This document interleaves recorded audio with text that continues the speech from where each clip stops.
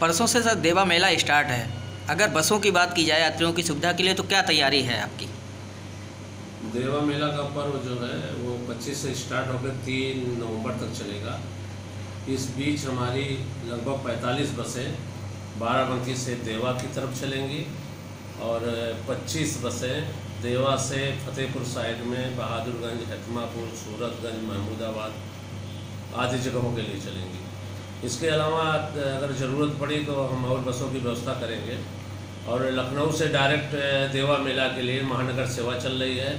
अगर ज़रूरत पड़ती है तो हम अपनी भी बसों का डाइवर्जन करेंगे, उधर से भी। ली गई है। सब लोग तैयार हैं, सब रात, रात्रि में भी चलेगी 24 घंटे बसें अनवरत चलती रहेंगी।